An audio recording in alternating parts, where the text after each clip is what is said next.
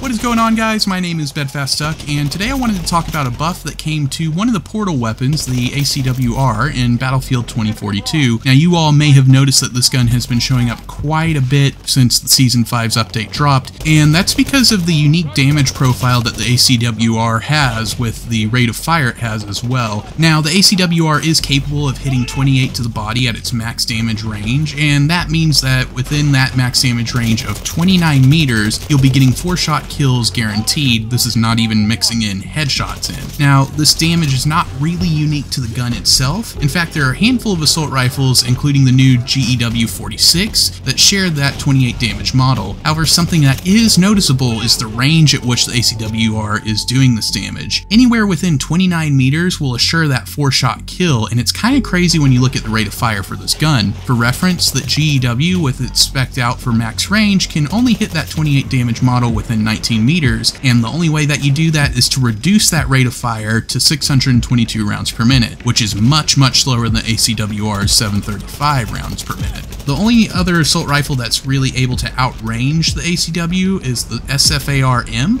and the RM68, which both have that slower rate of fire. Now, I'm not calling for a straight damage nerf by any means, as this damage model speeds up the time to kill, which is something I think Battlefield 2042 has needed since reducing a lot of the game modes to the 64 player cap. It does put time to kill more in line with Battlefield 3 and 4, but I do feel like the range fall off for the ACWR itself is a bit weird considering it's such a high rate of fire compared to those other assault rifles in the 28 damage category. But I want to know what you guys think. Is DICE done right by the ACWR, or should it be reined in slightly? Let me know in the comments below. If you enjoyed this video, please be sure to give it a like, and if you're new to the channel and enjoy this type of content, please be sure to subscribe.